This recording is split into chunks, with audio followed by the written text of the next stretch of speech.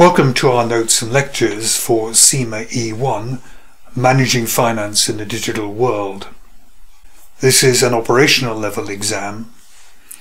It is initially examined by a 90 minute test using objective test questions and you will sit this at typically a Pearson Center. After you have uh, passed all of your uh, operational level exams, three of them, uh, then you will attempt the integrated case study for the operational level. This just gives us a, a very short overview of what's in this paper. First of all, we have the role of the finance function. And the finance function is divided into a number of different sections, financial accounting, management accounting, treasury, uh, uh, internal audit. And you need to be aware of what each of these sections uh, is expected to do, uh, what its function is within the overall finance uh, function. There is technology in the digital world, all the new types of technology like artificial intelligence, uh, for example, like blockchain technology. Uh, we have to be aware of this as accountants because uh, what it's going to do is to change our roles very uh, dramatically in the future. There's data and information in the digital world.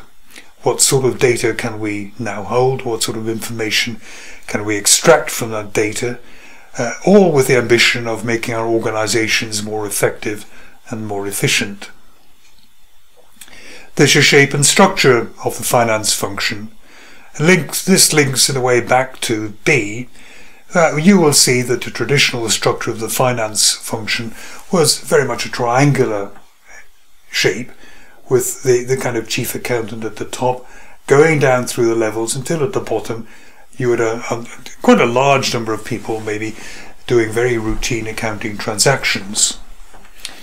What technology does at first is to automate many of the uh, more routine transactions, so you need far fewer people at the lower levels.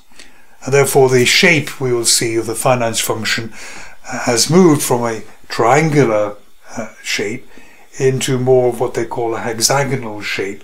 Fewer people at the top and maybe a, a bulge of people in the kind of middle, where instead of dealing with routine transactions, you are making use of higher skills to draw conclusions uh, from the data which is being presented to you. And finally, there is uh, the finance department interacting with the organization. How does it interact with manufacturing, where, with sales, with human resources? Uh, the finance department you can think of as almost sitting in the middle of an organization with, with all of these kind of uh, threads going out. There's, there's very few, if any, departments in an organization that the finance department does not get involved with in some way or another.